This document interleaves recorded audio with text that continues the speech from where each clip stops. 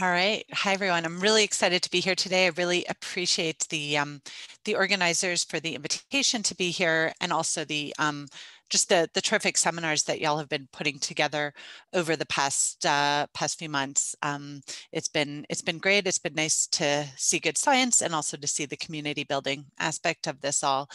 Um, today, what I'd like to do is introduce a bit what my lab has been working on um, and uh, highlight that with, with one specific application.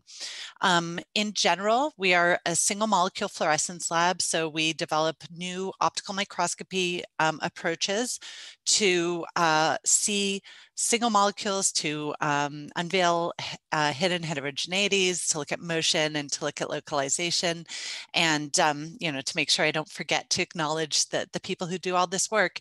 Uh, this is my lab down here at the bottom. Um, how how we join together these days. So let me start by um, introducing to you the sorts of data that we're looking at to to calibrate everyone. What I love about microscopy is that there's no leap of faith the black and white pixelated uh, movie that you see on the top right is our raw data. And what you're always looking at in these kind of images are some pixel noise, some popcorn sort of looking noise, but then this white punctate spot that's moving across the screen, that's a single molecule. And what's great is that fluorescence has so much contrast that we could detect just one molecule. The red track is post-processing. And what I'm just showing you is that we can see how molecules are moving. We can see what is going on. Um, so to, to introduce the technology before I get to an application, um, many are familiar with this, but to make sure we're all on the same page, um, as I said, it's actually fairly straightforward to sensitively detect an image just a single molecule. What you're looking at over here is the image of a single dye molecule immobilized on a microscope cover slip. And it lets us start looking at one molecule at a time to uncover what's going on in mixtures. Um, what I think is also really exciting is that we're traditionally always sort of stuck with the resolution of, for example, a confocal microscope. We're always limited by the fact that light has that wavelength of about 300 nanometers. And so what you're looking at here, this blur, this, this punctate spot, that's a single molecule that's maybe a nanometer big, but when we look at it in the microscope, it looks to be um, blurred out. And that's, if you go back to freshman physics, that's your Airy function, right? That's just, that's just um, the, the, the two slit um, uh, experiment. So um, what's cool is that if we know about our microscope, we know what that interference pattern looks like. We know that this, this pattern is actually just an Airy function and we can fit our raw data. This is raw data here, and then this is a fit function there. And as a result, find the centroid or the center of mass of that image and really say where our molecule is. And what got me into this field um, coming out of a more bulk spectroscopy sort of perspective as a PhD student is the fact that because fluorescence has such good contrast, we can actually do this in more complex environments. And so this is the paper I read when I was finishing up my PhD, and this is uh, Soyoung Kim in the Moerner Lab, who was looking at uh, the same sort of punctate spot that I was showing you just before, but now that's inside a bacteria cell. If you kind of squinch up your eyes, you'll see that maybe there's there's this crescent shaped blur. But the cool thing is we could control the environment such that you can't see any background. And really what you're seeing is just a single fluorescent protein molecule inside that cell and do the same trick um, look at that data as an intensity profile and find the exact position of the single molecule. Finally, what completely blew my mind when I got into the field is the fact that this is just a frame in a movie. And if I play that movie, you can see that punctate spot doing a zigzag back and forth across the cell. And so this happens to be um, a cytoskeletal protein called MreB in, in uh, Caulobacter. Uh, I'm not going to talk much about that, but I just think it really draws your eye to the idea that you can watch this molecule moving nanometers per second, very subtle motion inside what we used to think was just barely detectable, which is a single bacteria cell. So um, the final thing in terms of introduction that I'd like to draw your attention to is that this is all benchtop accessible technology. I love this image. Um, this is an image of, of um, my microscopy setup in the lab. Uh, it looks really fancy because uh, they've you know false colored the, the lasers. But when you think about what this setup is, this is all it is. We have a benchtop inverted microscope that looks sort of like something that many of us actually saw in a high school or introductory college uh, lab. This is just um, an optical microscope. We have a really good objective on it uh, because we want to collect all the photons possible.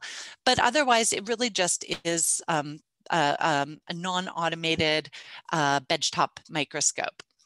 Um, our sample sits on the on the stage and then uh, we can sort of zoom in because all I care about in that microscope is that it's a really nicely engineered way to handle my sample and my objective. So what we're doing is always epifluorescence microscopy, which means that we send in our laser through the objective we have our sample here on top of the objective and then we collect the emission back out. So now the only difference from that maybe high school uh, biology experiment is that instead of exciting our sample with white light or with an LED, we're using a laser. And the reason to use a laser is that it's monochromatic. And so we can really carefully filter out um, the excitation emission because imagine the contrast, right? You have a laser, even if it's a low power laser, and then you have just one molecule fluorescing. Um, our lasers are uh, are, are small uh, CW lasers and the powers are like 10 to 100 milliwatts. So very low power lasers that we actually attenuate even further. And all the imaging is done, it's not scanning, it's all done in real time on an electron multiplying CCD camera. And I'm saying this not because this is anything we've invented, this is, this is how these experiments work, but just because what I love about this setup is that we have every component broken out on our table. And now I won't be able to talk about some of of the things that we've done. But for example, if you want to look at the polarization of the emission, it's a single optic that lets you fix that and you can pop it in on the table. If you want two color imaging, it's just a couple extra dichroic filters that go into the setup. So it's very um, flexible technology. And also, um, like I'm saying, it's on the bench top, so we could stick our samples, those live cells I was showing you, those can all be accessed without having to think about um, any kind of vacuum or temperature or any other control. So my lab thinks a lot about, like I was saying, right, what can we do given this, this technology? How can we make it better? How can we analyze our data better? How, how can we increase the scope of the, the images? And what can we do with sample preparation, of course? I won't have time today to tell you about it, but we do think a lot about the, the data processing. I'll, I'll kind of mention a few things, but if you're interested, um, we've gone to publishing all our code open source at GitHub. And um, for example, we have some nice code that does background subtraction because again, um, we're looking at a signal to noise ratio of like four, five, these very small numbers. And so you really want to be as careful as you can be with your background. Um, I'll, I'll mention a bit today, but we also think in these complex trajectories, this data we get out, what could we learn from noisy, imperfect data? And we think about simulations to complement the experiments and, um, and also uh, analysis code to, to understand the measurements. Um, we do uh, several different types of applications. One side of my lab thinks about using metal particles as antennas to increase and affect the fluorescence. But today I really want to focus on our subcellular imaging in microbes. This has been really um, a passion project for me since I started my postdoc because um, I always thought that that that bacteria cells were sort of uninteresting because I, I just had learned what they weren't. I learned, you know, bacteria cells have no membrane bound organelles. Bacteria cells have no structure. And this really turns out not to be true. Uh, it's just that the methods and the applications were never exactly in tune. And so now with the idea that we can look inside the cell at how proteins, how nucleic acids are organized, um, it's really been very exciting for me. So the specific challenge that I'd like to use to highlight our work today is thinking about the molecular mechanisms behind nutrient acquisition in the human gut microbiome. And I say one and two, but interwoven into this, I, I want to tell you about the tools that we need to use to understand the mechanisms inside these um, microbial cells. So let me introduce the system. Um, most of us have heard about the microbiome, either in the popular press or through our research. Um, microbiomes are just collections of bacteria that, that affect some function. Um, and in particular, the microbiome that, that I've been thinking about a lot is the human gut microbiome, which affects our ability to acquire nutrients and also is related to some sorts of inflammatory diseases. This is a great collaboration that um, uh, that has been underway for over 10 years since, since I started at the University of Michigan. Um, and I work together, um, my lab is a chemistry and biophysics lab. We work together with Professor Nicole Koropatkin in um, our med school, who is a structural biologist and also, um, also a microbiologist, and Eric Martens, who is a microbiologist and a geneticist. So I love these interdisciplinary collaborations. Um, and in particular, Nicole and Eric have been thinking for a long time about a prominent human human gut symbiont called Bacteroides thetaiotaomicron. So it's prominent in your gut, and it's also the most well-studied gut organism. And if you look at this just this is just a cartoon of a bacteria cell. Um, when we think about a gram-negative bacteria cell, we think about it having an inner membrane and then an outer membrane, maybe some external stuff. And let's zoom in on this red box. And so what you see if you zoom in, again, the cell inside the cytoplasm would be down here, and the outside of the cell, its environment, would be up here. So uh, this cell, we call it B theta for short, and it has on its outer membrane, external to the cell, what's called the starch utilization system. And this is again prototypical in that it is there, it is prominent, it is important in your gut, but it's also the most well-studied um, um, polysaccharide utilization system.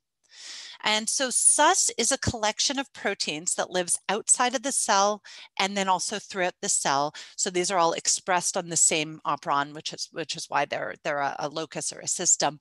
Um, and in particular, I want to draw your attention to these five outer membrane proteins. They're very unique in that they're really sticking out outside the cell. And that makes sense because they're, they're trying to sense nutrients in the environment. And SUS is specifically attuned to bind amylopectin or starch, a specific type of, of carbohydrate linkage.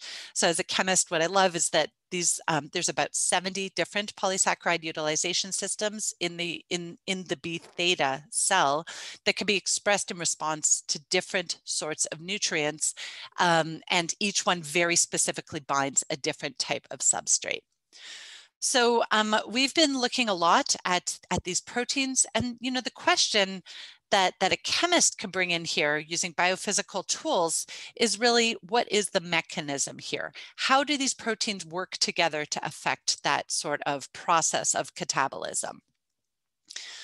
So we began our studies by tracking SUSG, one of those outer membrane proteins. It's the enzymatic protein, so it's the one that's able to cleave the carbohydrate.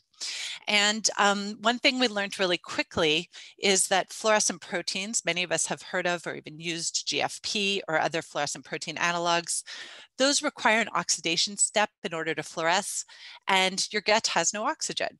And so all of these cells are grown in the glove box in Nicole's lab, and then we seal our samples and bring them out to the microscope. So no problem, we could do benchtop experiments. Actually, the cells are very happy sealed up because they don't want oxygen, but we can't use fluorescent proteins. So we've been using halo tags, which is just an enzymatic linkage system. We have our SUSG protein that Nicole has solved the crystal structure for, so we know exactly how to label it without affecting function. We also do functional assays. And we put on a halo tag protein that specifically recognizes this uh, halo tag ligand that has a dye attached. So if you look at the movie over on the left, this yellow outline is the cell and the white punctate spot is a single SUSG molecule labeled with a halo tag. And we can watch it as it moves around the cell. This protein um, has no purpose right now in that uh, the cells are living in glucose, which is a very simple sugar. Uh, it's not a substrate for SUSG. And so what I'm showing you right now is the baseline. How does SUSG move around the membrane? I know there's lots of membrane people in the audience and I'm always um, I'm always amazed by you all because you know so much about this complex environment. In bacteria, um, and especially in B theta right now, the membrane is a bit of a black box. We could see from this motion that the membrane is fluid, but I, I actually don't know all the properties and it's something um, beyond this that I'm, I'm actually very interested in finding out. So the red post-processing, that's just my trajectory. And the white, uh, black and white is the, the um, raw data. And so what you're looking at is SUSG just moving around the surface. We call this the surveillance state, right? This is just SUSG looking is there any carbohydrate? Is there some now? Is there some now? But it's not finding anything to bind to. We can analyze our data in different kinds of ways. These are the types of trajectories in the box marked A that come out of those uh, movies. And then in the box marked B, you could see that we fit the mean square displacement versus time lag for each trajectory to get what is the average diffusion coefficient of a molecule in each trajectory. Um, so this is our baseline. We see that many of the molecules are moving pretty liberally throughout the cell. Um, so then the question, of course, is what's the purpose? So let's introduce a substrate. Here, um, what, what my uh, former postdoc Krish has done is taken that SUSG, which is labeled in red, like in the previous slide. She's also labeled the starch substrate in green. And what you're looking at, actually want to unstart the movie there we go. What you're looking at in this in this uh, image is a two color image. Uh, the 488 channel is a big starch glob that's stuck to the surface of the cell. And over on the right, again, we're going to be tracking the enzyme. So the position of the yellow arrow shows you the position of the starch and it's stuck in place um, throughout this movie. And then over on the right, what I want you to look for is towards the top of the cell, there's going to be some, some SUSG that's moving freely like it was on the previous slide. At the bottom, there's some SUSG that finds its target and stops moving. And so, for example, the blue trajectory near the yellow arrow on the right, that's a SUSG molecule that's been immobilized at the position of the starch. The green trajectory that looks pretty diffuse, that's a SUSG molecule that hasn't found a substrate. And now we start really seeing um, starch binding in real time. Again, we can analyze the data in many ways.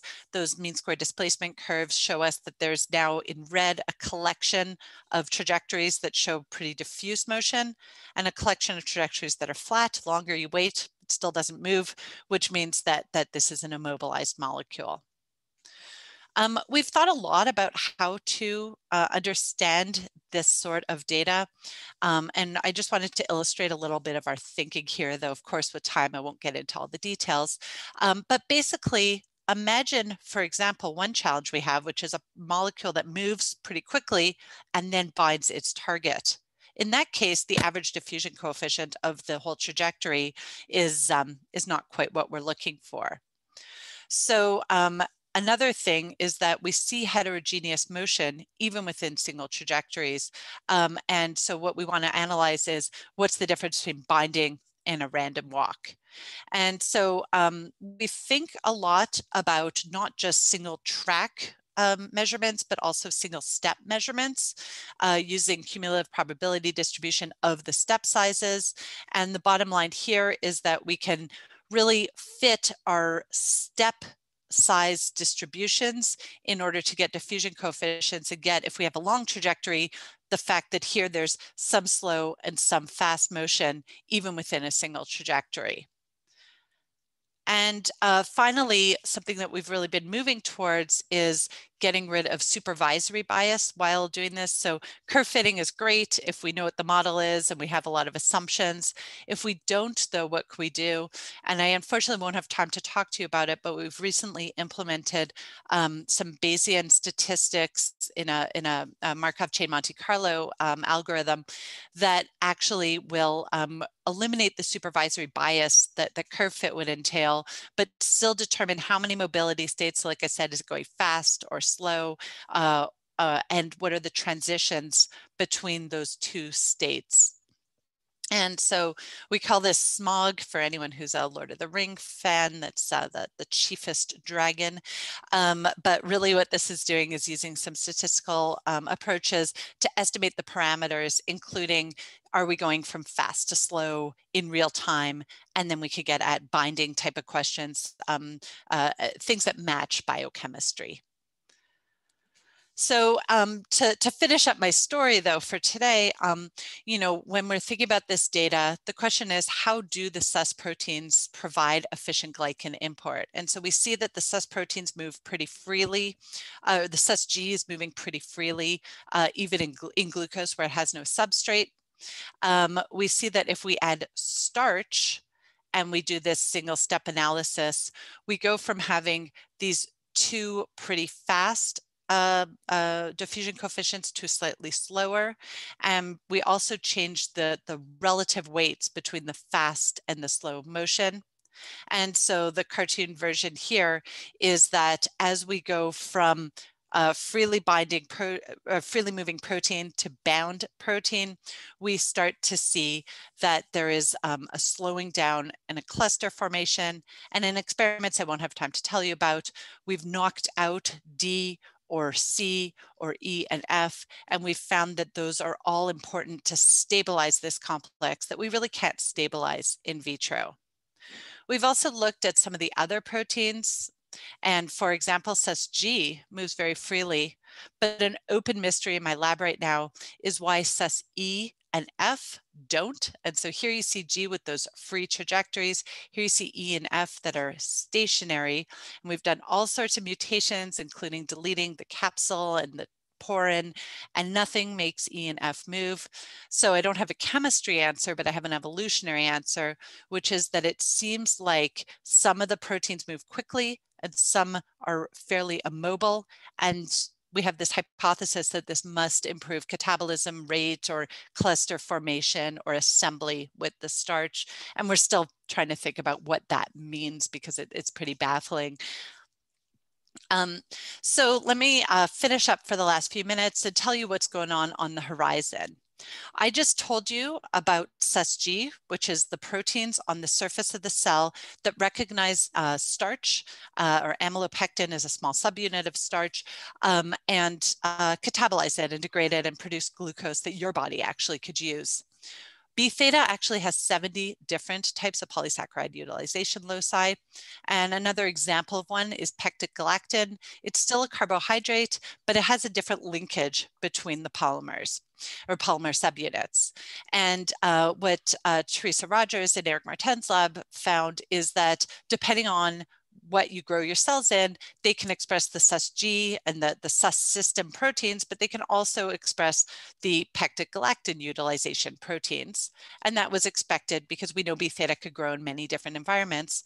What I thought was super cool from her work is that if we grow B theta cells in a mixture of amylopectin and pectic galactan, both of those um, polysaccharide utilization loci get transcribed. And you see both the red and the green uh, antibodies labeling. It's also known from other work, though, that galactan is prioritized over amylopectin. And so the question that, that Laurent is asking now is, does one glycan interfere with the ability to catabolize the other? Because we're wondering, does galactan suppress amylopectin binding, or is it just easier to, to digest and that's why it's used first?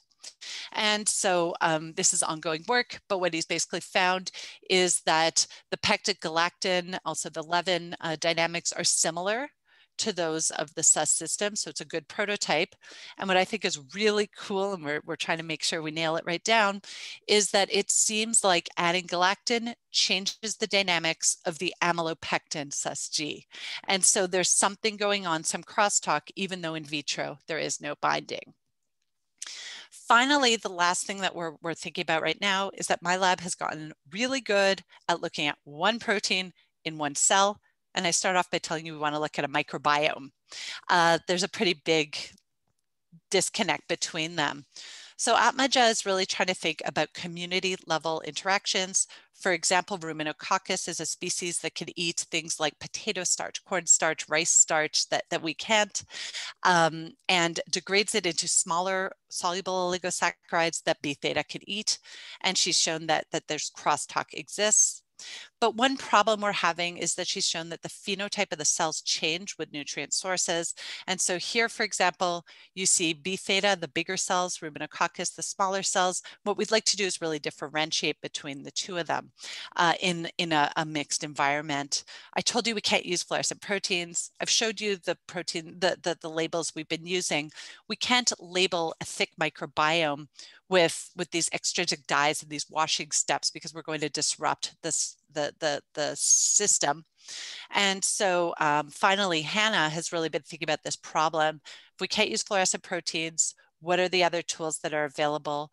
She wrote a nice review thinking about all these other types of labeling schemes other than GFP. And we finally settled on bilin binding fluorescent proteins like UNAGI and IFP 2.0. And Hannah has shown that live cell anaerobic imaging is possible with these proteins.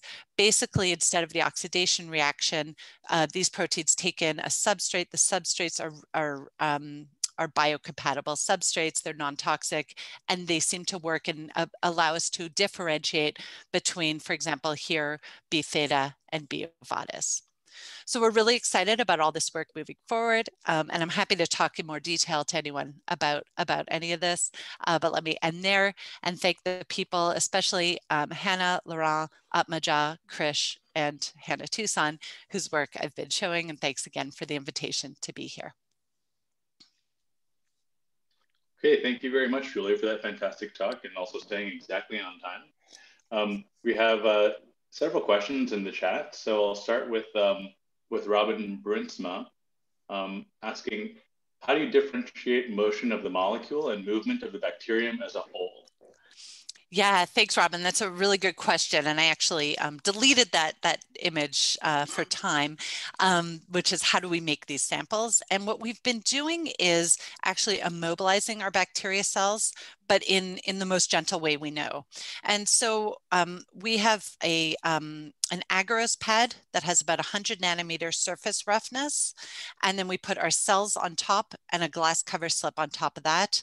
As a result, the cells are I think of them as sort of sandwiched in between the two, but they could still grow and divide. We could see that happening. So they're, they're still able to, to move a bit, but they're not able to jiggle or swim away. And we're also thinking about microfluidics, which other labs have implemented to, to stabilize cells in that way. Thank you. And we have a question from Suliana Manley. Um, did I understand right that you're doing spatially dependent background subtraction to take care of autofluorescence? And uh, can you say what your approach is and possibly point us to the code in the paper? Yeah, um, you know, the best place to find the code is on my GitHub site here.